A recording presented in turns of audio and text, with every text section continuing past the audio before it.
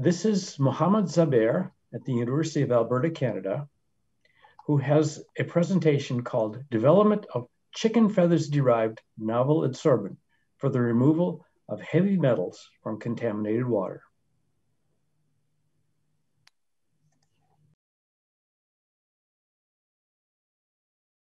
Everyone. I want to start my presentation with the famous quotation of Benjamin Franklin. Once he said, when the well is dry, then we will know the worth of water. He was absolutely right. According to World Health Organization, 2.1 billion people don't have access to clean drinking water. And 1.2 million people die every year due to unsafe drinking water. Although we are living in an industrialized world, but the amount of wastewater produced from industrial and agriculture sector is about 1500 cubic kilometers which is six times more water than available in our rivers of our planet. If we just talk about heavy metal contamination, alone arsenic has nearly affected 170 million people in 70 countries of our globe. Also, the existing technologies are either expensive, environmentally harmful, and have low absorption capacity. So we need a solution that should be cheaper, environmentally friendly, and can be implemented on a larger scale. Here comes my research project to decontaminate the heavy metal containing water using chicken feathers. Now you may be curious to know why specifically the chicken feathers. Chicken feathers are the poultry byproduct. Every year, hundreds of millions of tons of chicken feathers are produced around the globe, which are either landfilled or burned and creates environmental pollution. However, we can use them for a productive purposes such as development of absorbent for water purification. Now comes the question how we can develop this adsorbent using chicken feathers. The process is simple and pretty straightforward. And to answer this question, we need to understand the basic chemistry of the chicken feathers. Chicken feathers have mainly keratin proteins, which are consist of disulfide linkage.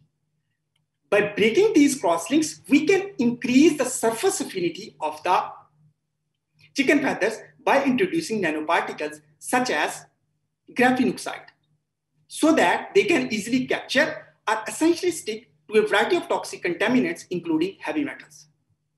To develop this adsorbent, we took chicken feathers, washed, oven dried, and then ground. Then these ground chicken feathers were dissolved using reducing agents. These dissolved chicken feathers were further chemically treated with the water dispersed graphene oxide to obtain the keratin graphene oxide mixture. This mixture was further subjected to dialysis and drying to get the adsorbent. After the successful synthesis of the adsorbent, we characterize this adsorbent using different techniques such as Fourier transform, infrared spectroscopy.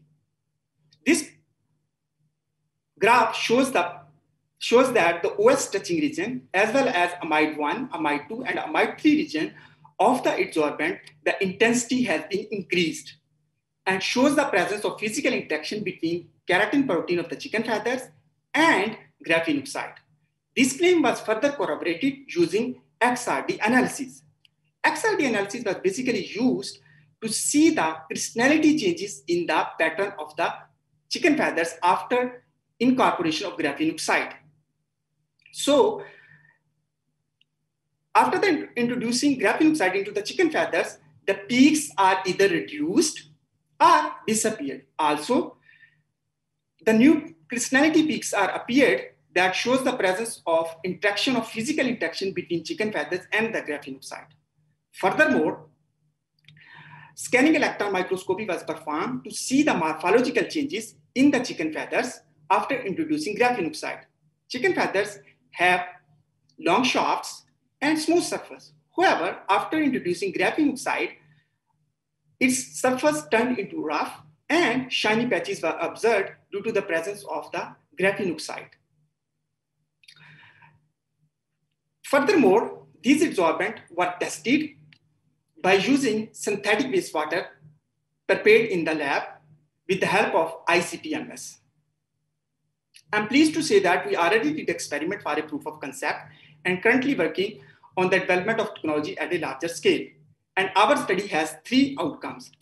Firstly, only uh, these heavy metals can be removed from 80 to 99% by using this adsorbent. And our adsorbent have maximum absorption capacity towards arsenic and selenium. Secondly, one kg of the adsorbent can remove the heavy metals in the 10,000 liters of wastewater. Lastly, and most importantly, our adsorbent have good adsorption capacity as compared to the existing technologies, as well as it is environmentally benign. At the end, I would like to say, with the development of this adsorbent, we can remove the potential health and environmental impacts even before their risk of occurrence. Thank you.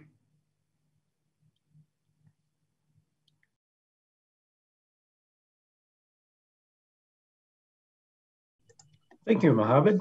That's a very interesting approach. I like your approach. Uh, there's a question. I, I have several questions, but here's the question that I will ask you. Do you think it's possible to recover the metals from the adsorbent? I would yeah. suspect. Please go ahead. So, yeah, uh, yeah, there is a possibility to recover the metals, and we are uh, already planned to recover these metals. And if we recover these metals in a large quantity, of course, then we can sell these uh, metals to the metal industries. Thank you. Judges, do you have a question for Muhammad? Please speak up. Yes. Uh, do you want me to start, Scott?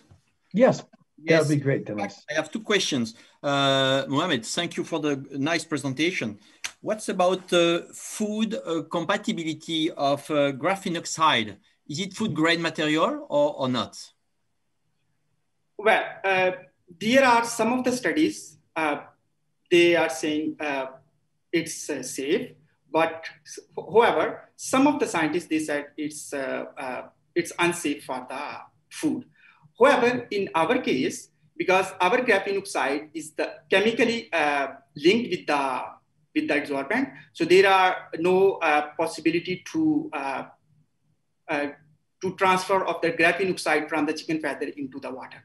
So it's safe in, in case of uh, water. Uh, we can use it for water purification purposes. My second question was about uh, what you explained.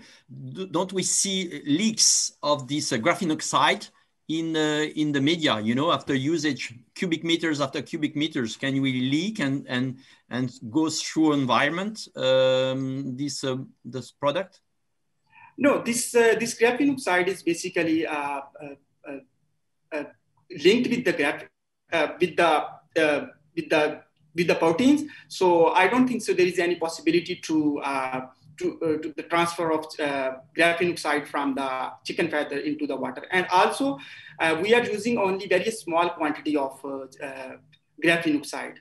Hmm. Uh, it's just 1% or 2 or 3%, not more than that. Yeah. Okay.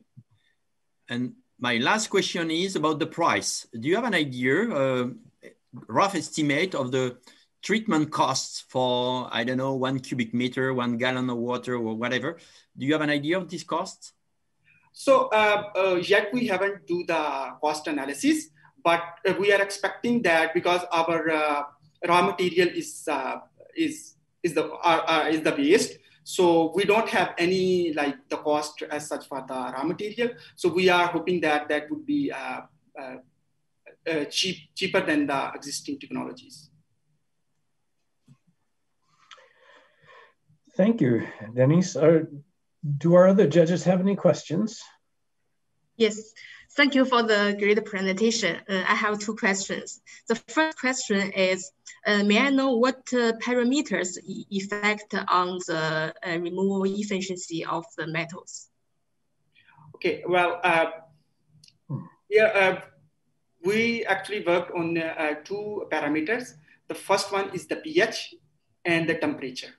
So there are other factors such as uh, uh, adsorbent uh, amount are also play important role. Okay, so so at what pH, what is the optimum pH or temperature to get the maximum removal efficiency? So uh, uh, we determine between six to seven pH because we uh, we are also, also planning to use uh, that one uh, for the drinking water purposes too. So what we are doing is if we are taking like the wastewater, we we change its pH. We can increase or decrease. So we are using like between six to seven pH. Whatever the result I showed, it's uh, between six to seven pH. Okay, thank you. So my last question is, uh, what's your opinion on the major challenge for scale scaling up this technology?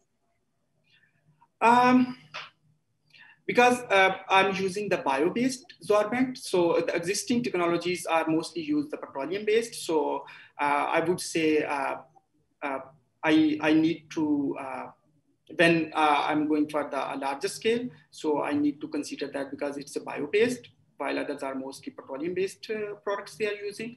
So that's the technology barrier for to, to develop this technology at industrial scale. Thank you.